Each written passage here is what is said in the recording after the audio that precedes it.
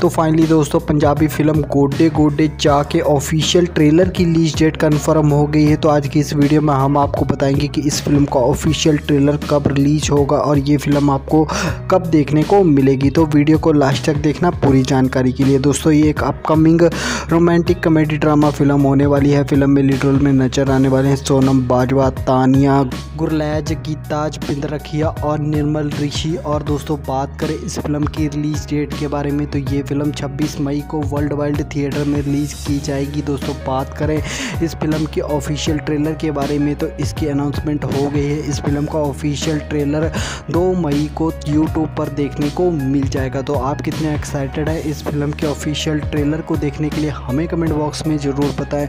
और इस फ़िल्म को देखने के लिए एक्साइटेड कितने हैं, वो भी हमें कमेंट बॉक्स में ज़रूर बताएँ। और जैसे ही दोस्तों, इस फ़िल्म के ऑफिशियल ट्रेलर की रिलीज़ टाइम कन्फर्म हो जाएगा। हम आपके साथ वो भी शेयर कर देंगे। उसके लिए आपने हमारे चैनल को सब्सक्राइब कर लेना है। चलिए दोस्तों, मिलते हैं नई वीडियो में नए टॉपिक के साथ। तब तक के लिए bye bye take care thank you for watching